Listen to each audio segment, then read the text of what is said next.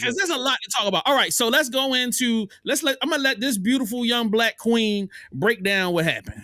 According to a statement put out by Big T yesterday on Truth Social, he had got popped at at his pep rally out there in Pennsylvania and got grazed in the ear a little bit. Now, as of right now, I have not received any official reports from doctors or anything to that nature, but if any information changes or anything like that comes out, I will be sure to come back and let y'all know the updates on that. Now, what I did see is a video of Secret Service trying to get Big T off the stage safely after the incident happened. And Big T was like, hold up, hold up, hold up. And then that's when he stopped to take this picture. And then as they got further down the stairs, I guess he realized his shoes was missing. So they had to stop to get his shoes. Now, the suspected gunman is 20 year old Thomas Matthew Crooks. As of right now, there are no further details with regards to his motivation, why he did this, how he was even able to carry this out, because at Trump rallies, it is known that there is intense security. You are screened before you get in, then you also go to metal detectors and stuff like that. But what we do know is that the gunman was actually outside of the pep rally on top of a building. As of right now, Big T doing just fine. He didn't talk to his kids. He didn't talk to some representatives. He talked to Steve Scalise. You know, Scalise know a little something about getting popped at at an event too. So they had a conversation. They got text messages saying he cool, he's straight. Big T has at this point made his way from Pennsylvania to New Jersey. He said that he's going to continue uh, his little campaign trail because the election is only four months away.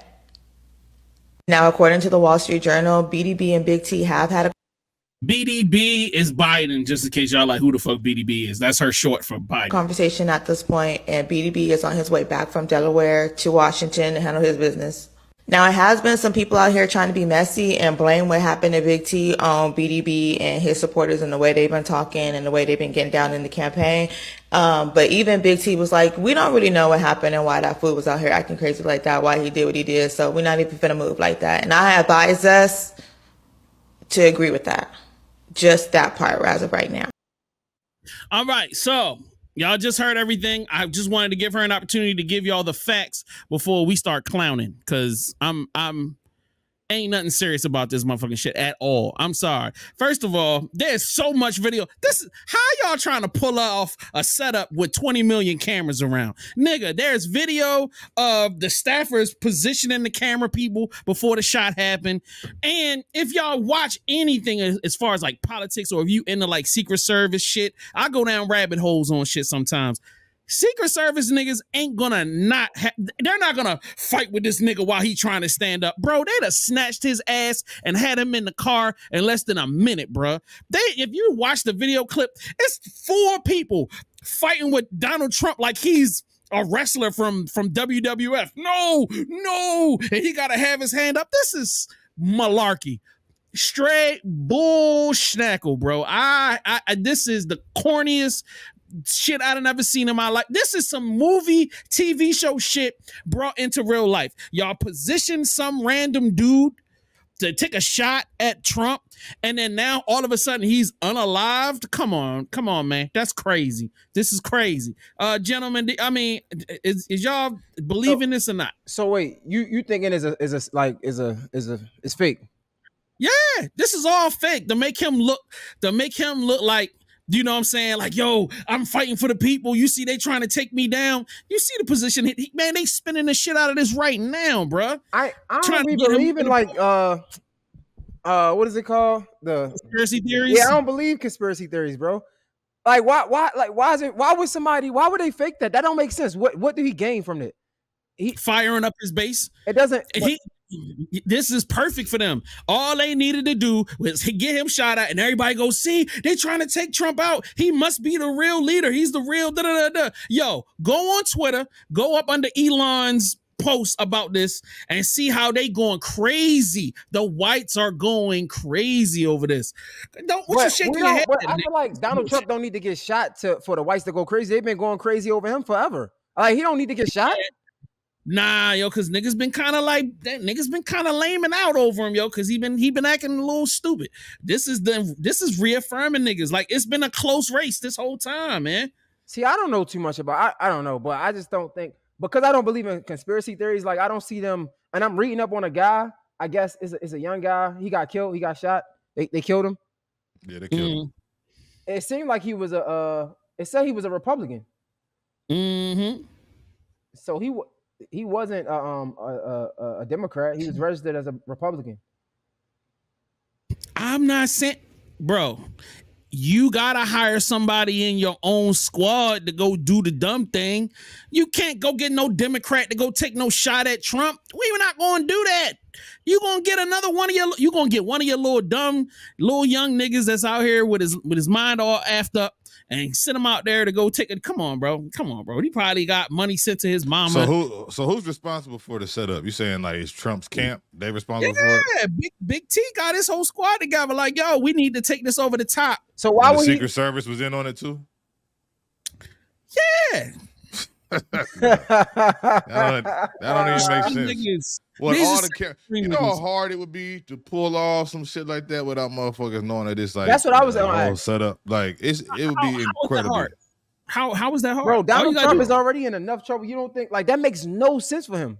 He already got all these, you know, charges, this and that, third. So technically, they've been trying to take him down this whole time. It's and crazy. I honestly believe motherfuckers is tired of Biden. Motherfuckers is tired of Biden already, though. So like, people are already. He's already in a good position to potentially win his second presidency because Biden old as shit. Ain't no other candidates out there besides Trump- him Trump and old as shit. Trump old as shit, but the Trump is still able to function.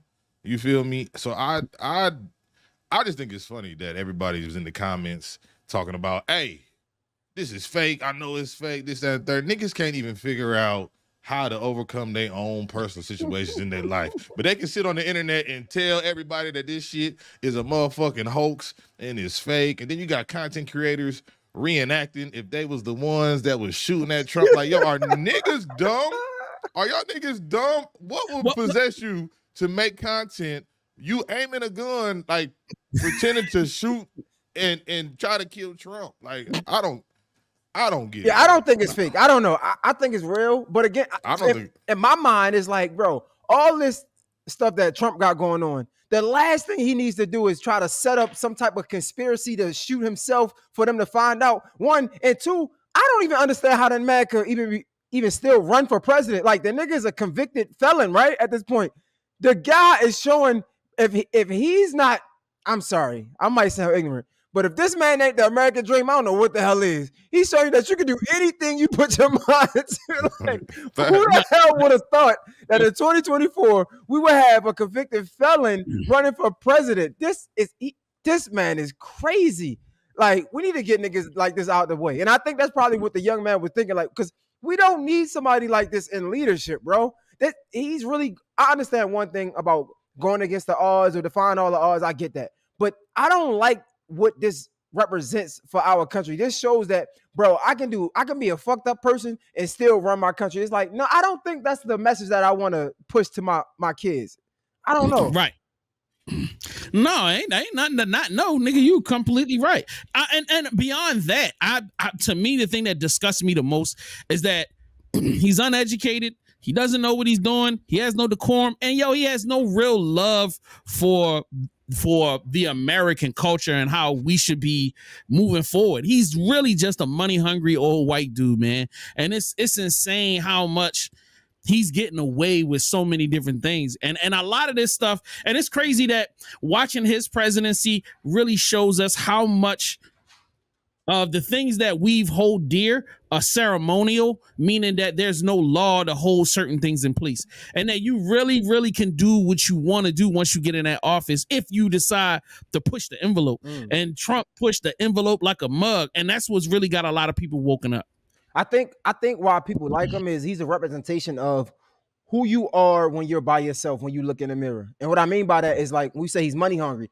Uh, most of America's uh, most most of Americans are money hungry, including us, right? We we might not be as money hungry as this the next man, but most of us are money hungry, right? So Mhm. when you have somebody like Trump that's in office and and it can give you stimulus checks and and I don't know tax cuts, sh- shit like that. You feel what I'm saying? Of course, people want to want him to be in, in office because it benefits them, right? Like, bro, he's It's it's just ridiculous, bro. But ain't that the whole point though? Don't you want somebody in office that's gonna benefit you and represent you and the things that you like to do? Yeah, I mean, I feel like the the, the um what's what's it called? The economy was was a, a little more thriving with, with him in office. And I'm not even a Trump supporter. I'm just saying, I just feel like you know niggas wasn't as struggling with with this motherfucker in office. But it know what I also, but I, but Nick, I'm not gonna lie to you though. But it also was the pandemic as well, right? Let's look at it again. I'm not the most political. I don't know, but during the pandemic, a lot of people was getting money, right? It it was it was a uh, a national di- dis- disaster going on. I, mean, I don't I don't know the right words. Don't forgive Right. forgive me, but whatever. Like it was a it was a pandemic, so of course it was funds that could be allocated to to emergency situations. You get what I'm saying? So like that that makes sense. Now let's see if can he do the same thing when it's not a pandemic, right? If that makes you know what I'm trying to ask. Like because during the pandemic, everybody had money.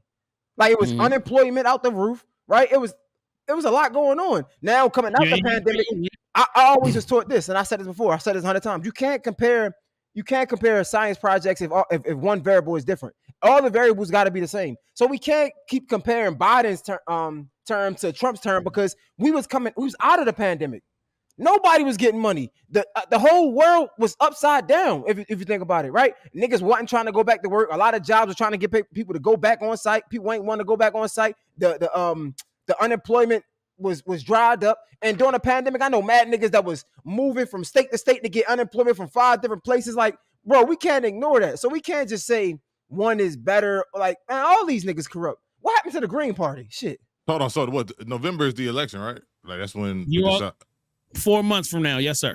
Yeah, so that means that Biden went back into office in 2020, which was still pandemic-y, right? Ain't that ain't that- that's when he won? He won in 2020. Yeah, it was like it was like the end of 2020. Yeah, it had to be. If it's 2021. 2021 is Yeah. when 2022 is really when the pandemic was over, I think. 2022. Right. So so Biden got in office that January of 21, technically, because you get elected in November, Right. but then you take office then- over, I think like January Right. 19th, something like that. So right, right, I right, mean, right. it was still it was still a little Still pandemic time. it was still pandemic time. Mm, yeah, that's a So- fact. But you still talking about the worst part of the pandemic. So like all of the major decisions on how we would re- respond to it happened under Trump. You know what I mean? So when Biden takes office, he's just dealing with the repercussions of it. Like he's just dealing with the with the you know the blowback and the and the economy. And then look, Trump spends a ton of money to keep everybody happy. And then what happens? Biden has to pay that money back. We dealing with a deficit. You cause inflation like crazy. People are not paying rent. Do you think that's gonna make it easy for Biden to come and fix everything? No, bro. It took him four years to get things back to where they at, and we're still, yo, we're still dealing with the the financial repercussions of 2020. That's the reason why inflation is so high. That's why you, the cost of buying a car. You know what I'm saying? You know what I mean? All of that, yo, the interest rate is in fucking sane right now because this shit was crazy before. You know, it's funny. You I wish I, I wish I I need to educate myself more about this because I'll see the effect on things, but I don't really understand where it's coming from. For example, I remember it was a time where you could buy a used car for like 10, like a good used car for like ten thousand dollars. Ten thousand dollars. Like a good one. I, I remember looking for a car like two years ago, and I'm like, yo, I can't ten thousand dollars ain't gonna get you nothing. Like they want 20 for a used car. Like a used Shit. car. I seen 40, 50 for a used car that ain't that. I'm talking about when you talking about a decent mid-sized car or or a van or a truck or something like that. You spending, you spending on that shit. But I mean, at the end of the day, all right, it's it's just as simple. Somebody got to get paid somewhere. So if you stop people from getting paid for a year, let- let's let's just talk about 2020 when you freeze rent, where people don't have to pay rent, when people are getting paid on jobs and they not working or they working remotely yo, people want to get their money back. So of course, what's going to happen after the, the rent gets unfreezed and you can't pay your rent? What you think? I, if I own a house, I got to get my money back. I'm gonna kick Mm. this person out of this fucking house, and guess what I'm gonna do? I'm gonna raise my rent, and because I got to fix the house up after putting that person out, so I gotta put, I gotta lose money, kick somebody out, spend more money to make it habitable for the next person. So what you think I'm gonna do? I'm gonna raise the rent. Mm. That's what that's pretty much what the entire world did. It's like, all right, we came out of a bad situation where people had to spend tons of money and they froze the interest rates, meaning that during the time of the pandemic, you couldn't raise interest rates. So they couldn't try to recoup during the time of the pandemic. So all of these businesses were really like prepping, like, all right, as soon as they unfreeze the interest rates, as soon as they, you know, stop forcing us to do things, we're gonna fucking raise the interest rates. We're gonna raise our prices for everything. And you know what I'm saying? We're gonna get our fucking money back. That's the reason why we're in a situation now. That corporations are responding to the to the massive losses from two or three years, 20 between 20 and 22. What are the benefits of of Trump being president? the benefits of Trump being president are tax breaks, huge corporation tax breaks.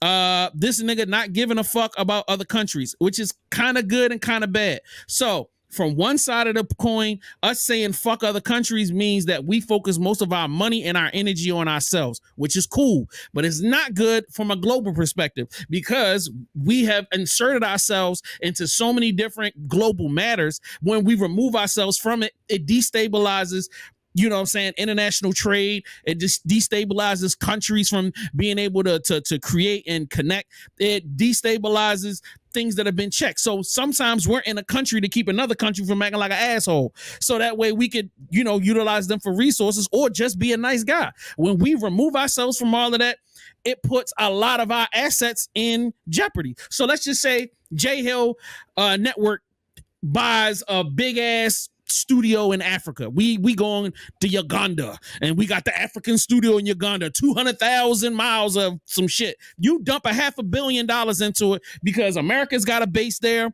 We importing our own people. We know we going to get money. You know it's good. What if America pulls out of Uganda? The base. It's like it, it was 200,000 niggas in the country guarding your shit. Then all of a sudden one day they go, "All right, bro, we out. Good luck." and there's there's a weak government there. You got a half a billion dollars invested, and overnight somebody could come in and take your shit. That's the same thing. Think about Exxon. Think about BP. They have interests all over the world, and these are the biggest you know what I'm saying, money generators in our country. They have big billion dollar interests all over the world, and America has to protect those interests. In addition to keeping motherfuckers from nuclear, creating nuclear shit to come kill us. That's another thing we got to do. Keep these motherfuckers as fanatics and crazy motherfuckers from developing bombs and pushing the buttons. So that's the reason why we have to be involved in the rest of the world. And, and, Outside of that, go ahead. and I'm asking, so Trump does that, or Biden does that, or both? That's something that we need to do. when Trump comes in office, Trump pretty much says, fuck niggas. It's all about America. So if you're not giving us no money, fuck you. And it's cool on the front end because we start pulling back on how much we spend in other countries. And we take that money and he does whatever the fuck he does with it, which is make, make magically make it disappear. And that's cool in the front end, but it makes it a problem on the back end. So, like when Russia decides they they want to take over wherever the fuck they fighting at now. That's a result of Trump going, I don't give a fuck, do what you want to do. So now this puts a whole nother country at at odds. So now they're fighting with a fucking huge ass country, and it's people are getting millions of people are being killed. That's the price we pay for not being involved like we normally are. Does that make sense? Yeah, it makes sense. All right. This shit is boring. No, I move mean, I'm learning. I'm, my bad. I'm learning because I'm I'm genuinely curious because now I'm like, what the benefits of Biden? Like, I don't. I have, I have no idea. So the dude, I, I will tell you the perfect reason Biden, first of all, has been in politics for over 50 years. So by having relationships abroad and in the, in, in this country, he's able to get people from both sides of the aisle to work together, which is very hard. He can get Republicans and he can get Democrats to work together on policies that help the country move forward. Trump, when he comes in office, is more like, yo, I don't give a fuck who you are. If you ain't rocking with me, fuck with you. And he caused gridlock, meaning that legislation wasn't able to be passed. So, like, if we was trying to get new Medicare, if we are trying to get new highways built, if we're trying to put money to space programs, he ain't trying to put no money into it unless he's getting a kickback. Biden is all about, yo, we're trying to prepare for the future. Same thing as Biden's overseas. He understands what's going on overseas. Shout out to She Who Succeeds. Shout out to you. Uh, you know, him being overseas, he's got relationships overseas to keep things cool. Plus, he has a very thorough understanding of geopolitics. So, of course, he can walk into situations and he can be a politician, meaning that he can deal with problems and situations that arise. He's good with dealing with tr- dealing with trade. He's good with keeping China from going crazy, keeping the Russians from going crazy, and you know what I'm saying. Also, keeping things kind of on an even keel. How do you That's know the this? difference? Like, how do you how, how do Because you I get watch- educated with this shit? You just watch. Okay, so I watch CNN, I watch Fox sometimes when it's not fucking annoying. Uh, I definitely watch a lot of uh, Jon Stewart. If you want some funny shit, but also get educated at the same time, watch Jon Stewart, bro. Like he he dumps out shitloads of information, but he also, you know what I'm saying, makes it funny. I also like watch uh Bill Maher. I also watch a lot of YouTube videos. So like when I start hearing about certain conflicts, I'll literally just go and do research, watching YouTube videos about different stuff, bro. Like you just have to be involved. Plus, I'm a huge politics fan and I like political dramas. So like I'm kind of into that shit. That's bro, that's impressive. Cause I'm like, bro, you be working and you be watching all this and you be watching TV too, and you be watching movies and shit. Damn. Yeah. I'm consuming yo, you consuming information all day. So uh what'd you say? Uh, I'm glad Mr. B is back. Good morning, y'all. Shout out to you, uh, trapping in future. Shout out to you, my G. Uh, thanks to everybody. Yo, jump in the chat, drop a uh, drop a comment in the chat. Tell us what you want us to talk about, and uh, you know we'll get it there. I didn't I didn't want to make this boring, bro. I was just you know answering questions. No, I mean, boring at all. Yeah, I'm about to say you I'm know? interested. I'm like, shit. Did you know this shit, Bankshot? I oh, kind of feel bad. I feel like as an adult, these are things you should know. Yo, when and, and here's another thing: when you're investing money, especially when you're like stocks and stuff like that, you need to be mindful of why your stock is going down or why your stock is going up. So, like a lot of times when you're investing in things like gold, oil, shit like that, by being like you want to know why your shit go down 20 points in a day and you lost a thousand dollars. So then you gotta fucking immediately like that's what really I mean to be honest with you that's what happens to me. Like so like when I lose a lot of money I'm like what the fuck is going on? I, I am now I'm looking on the news. What's going on? Oh shit, this just happened. Oh that just happened. Or such and such is fighting. Uh plus in addition to as you watch movies I I be starting to un- trying to be wondering like how much of this shit is real versus fake.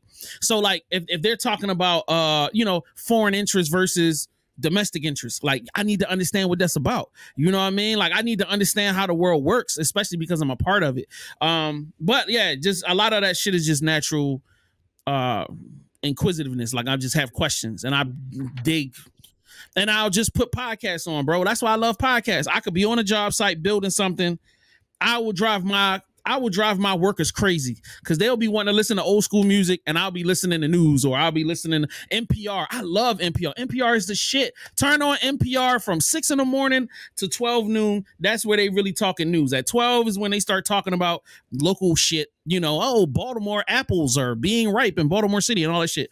But if you're in the listening in the morning, that's when they talking about local and local politics, local news, you know what I'm saying, and national news let's move on. Bro, that's impressive. I'm, that's I'm impressive. about to want to I'm impressed. I'm not gonna lie to you. That's impressive. You might think it's boring, but I'm like, man, shit.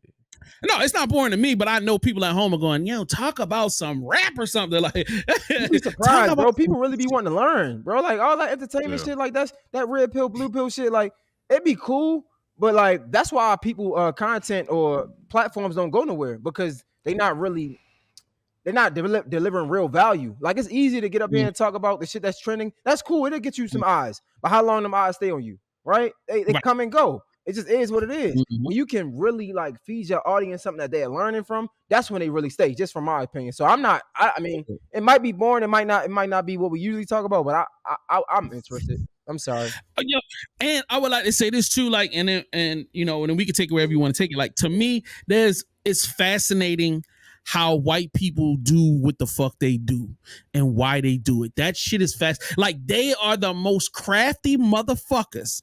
They find all type of wild ass ways to control shit, to like take money from people, like to rob, to steal, and then like get people emotionally connected. Like I'm telling you, man, like it is crazy. The more you watch, especially like when you start looking at history mm. versus looking at now, oh my god, yo, and you'll see that the game is the game no matter what time period we talk about like whether it's 2000 years ago or today they use the same fucking tricks to get what the fuck they want. They just update the formula a little bit depending upon the technology and the time. Mm-hmm. it's crazy brother. And the more you get involved the more you start recognizing. And this is the thing. A lot of people will start getting educated and there's they, you're going to respond one or two ways. Either you want to go anti-system or you going shit i'm gonna take advantage of this shit so that i can eat that's so, what I'm thinking. Like I'm saying, yeah. you learn you even I might be fucked up, but I'm thinking like you learn how they they working in the politics and on a right. high level. Shit, I can work that shit down here on the low level when I'm doing my, my business with my partners. like if, if yeah, that's how it's working, shit. But that's the reason why they say you should get involved with politics on a local level. Mm. Let's just say, for instance, in your neighborhood, you wanted to I don't know, like say if you want, I, and I'll tell you a prime example. My father's best friend, they didn't have a supermarket in the area that he lived in. There was not a supermarket for a 10 mile radius. So what he did is he went to his local Cong- not congressman, but his local councilman said, "Yo, we need to build a supermarket." Da da da da. He got he got himself. They created a job for him that the government paid him to develop a supermarket and to, to create like a strip mall. Mm. And he got paid to do that shit. So then I think he also negotiated that when the supermarket be created, parts of money that was made from that supermarket and from the strip mall to be donated to the community so that the community could do other community projects. Like simple shit like that when you just get involved. So now they've got an office. He got his own little office his space that's getting paid for by the government. He ain't got to pay for it so that they could do community shit and they can they develop like a little neighborhood uh playground and now they got money to do stuff like fix their own streets. So now instead of you having to go to the mayor to beg you beg them niggas for money. They have a fund in place. So if a pothole comes up or something else comes up, they fucking use the money to get shit fixed. Like I hope y'all this listen. Is this is free game right here. This is free game. Yeah. And then like say for instance, yeah, facts, facts. this is game right here. This game. This game. When Jay get to develop in his studio, bro, you're gonna need politicians in your pocket to develop you know, to break ground, to build what you got to build. You got to have those relationships. Shit, if you get canceled, you want to be able to make a phone call and have somebody stand with you.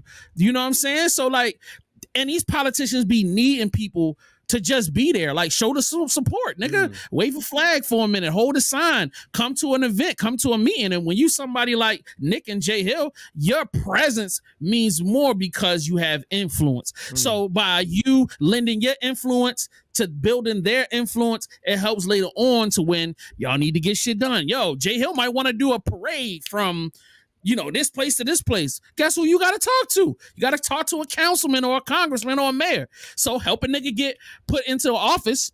Guess what? It's an open door policy for you when you want to come and do shit. That's how the game work. You rub my back, I rub your back. You know what hey. I'm saying? Pause. Yeah, definitely. That was definitely plausible. My bad. My bad. We get to rubbing each other back too much. Yo, pull up How bad you want that studio bill, Jack? Not that bad, bro. Pull up the uh, what, what else we got on the docket, dog?